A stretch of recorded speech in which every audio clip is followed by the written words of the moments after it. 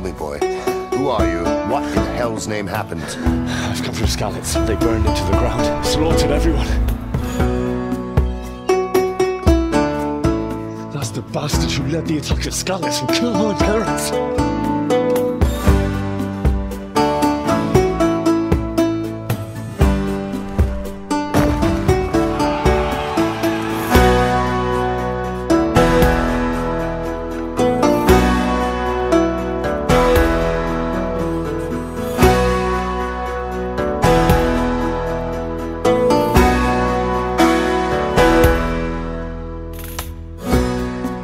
Didn't want me fighting.